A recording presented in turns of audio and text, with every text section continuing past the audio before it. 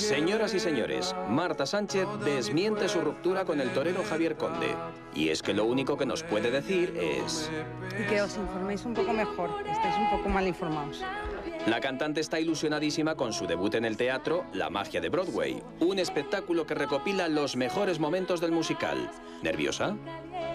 Pues hombre, estoy un poco nerviosa porque es algo que no he hecho antes y, y yo sé que va a estar la gente pendiente de, cómo estoy sobre un escenario de un teatro. Entonces, pues el nervio normal, pero realmente confío mucho en que, en, que he preparado mis papeles y que voy a hacerlo bien.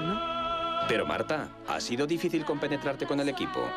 Bueno, he trabajado muchas veces en grupo, de hecho en mis conciertos trabajamos en grupo porque somos 11 sobre el escenario, pero ha sido muy interesante y muy bonito porque me he sentido un poco como de un grupo, no, no siempre tan pendiente la gente de mí, sino eh, en conjunto con compañeros, que es, que es mucho más apetecible.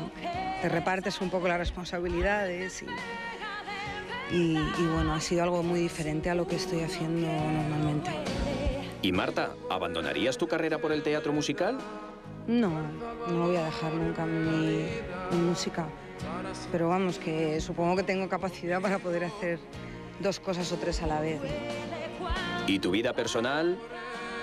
Pues mira, lo que te puedo decir es que en algún momento en mi casa he chocado y me he encontrado una, una revista de hace años mía en la que me he visto a lo mejor diciendo eh, algo de mi vida privada y la verdad es que yo doy gracias a Dios por, por, ser como soy, por tener la carrera enfocada y como la tengo hoy en día, porque realmente eh, ahora mismo veo que es muy triste tener que vivir de contar tu vida privada.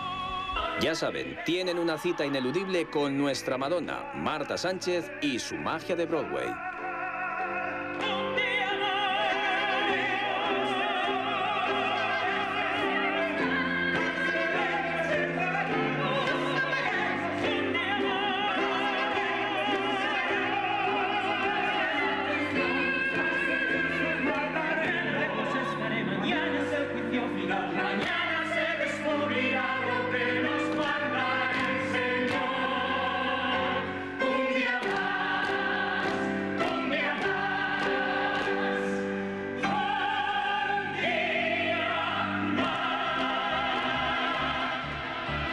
Muy bien, Marta